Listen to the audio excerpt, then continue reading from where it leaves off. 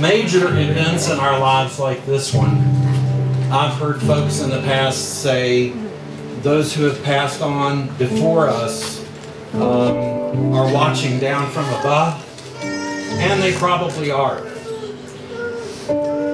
But tonight I have to tell you about someone whose absence here this evening isn't obvious to everyone. 30 years ago on Monday, Kandace and Katie's older sister, Kellyanne, passed away. She was only five weeks old. Those 39 days in 1983 were not the lifetime that Kandace or that Sandy and I had hoped for her.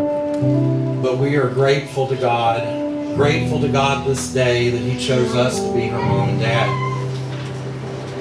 There is absolutely nothing we can say this evening that will adequately express how much she still loved and missed.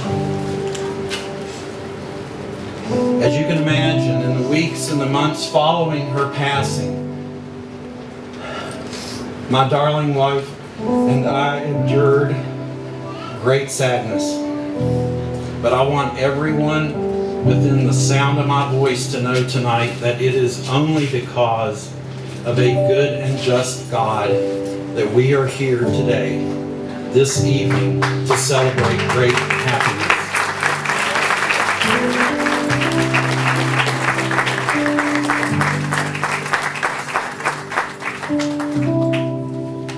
On the program, there are names of those who have left us who are not in attendance tonight. We could spend the entire evening, and some of us probably will, recounting what each of them meant to us in some way during our lives, and certainly to Brian and Kandace because they chose those names. But I, meant, I must pass along something to you and to Brian that from the person on the list that I knew the best. And as I look back at my life and I recall the highlights in my life, nothing stands out like those one-on-one conversations I had with your granddaddy. And I miss him so much. But he, Brian reminds me a lot of him. He was sensitive, he was humble, he was a godly man, he was a good man. One July afternoon, five days before he passed away,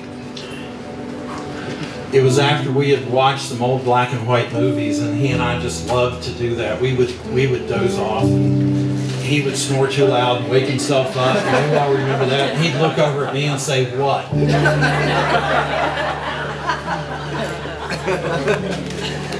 but after those old movies, he asked me to do several things. He knew, and I knew, it was probably our last conversation. But he asked me to do several things. Among them, he asked me to encourage your cousin Todd as he contemplated law school. He asked me to call my brothers and my sister to keep the family in contact and together. And I saved the most important thing for you, your sister, Ryan, and your cousins. Your granddaddy was not a financially wealthy man, but his wisdom left us such a rich legacy. And from that legacy, I give you the same continuous, unwavering counsel that he gave me.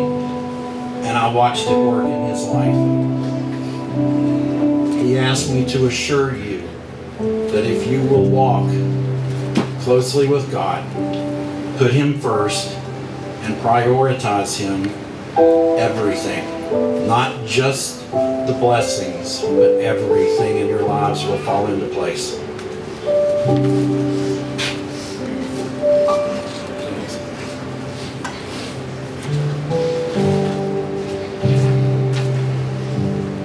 I'm sorry all the funny stuff was in the beginning, but I, I this kid has meant so much to me over her 28 years that I am taking this opportunity, and I told her, you're going to be embarrassed. I don't care. There's several things I want you to know, but I want everybody to be a witness to help you and Brian in the future. Other than the birth of my three daughters and the marriage to my wonderful, patient wife, and the Christmas in 1966 when I got my own bicycle. this will go on the list as the happiest, one of the happiest days of my entire life. It, it will. And over those 28 years, Kandace and I did what most fathers and daughters do. We formed a bond. And our bond is represented by the hope your birth brought your mother After our beloved Cam- Kellyanne passed away. Our bond is known by the joy and laughter that you have brought to our lives the entire time. It is known by the unquestionable trust you placed in us as parents. And we were then graced by God to return to you unconditional love. Unconditional love. You'll know what that means when you have children.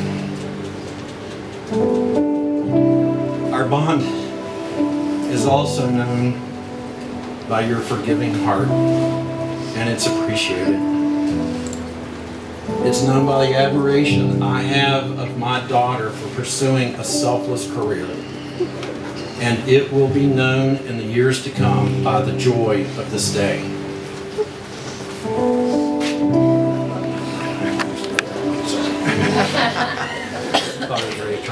It, it's almost done. Okay? Almost, you will be eating before you know it. Strong, sensitive, honorable, heart of gold, selfless.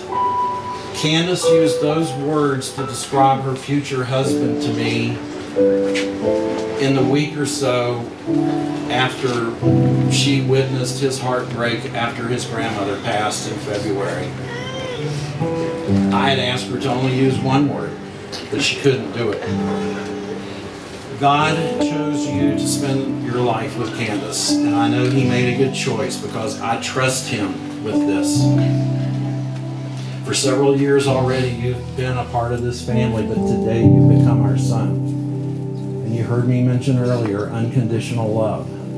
Sandy's and my unconditional love follows we both.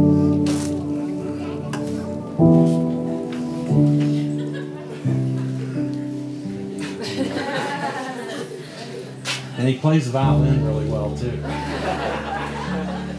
And if you will bow your heads, I now want to share with you my version of a parent's prayer for two wonderful, wonderful kids. May God bless your marriage and you and keep you always. May his light be made to shine down upon you all the days of your lives. May his love be forever with you. May his blessings be abundant and obvious to you. May you always be protected by him and held in the palm of his caring hands.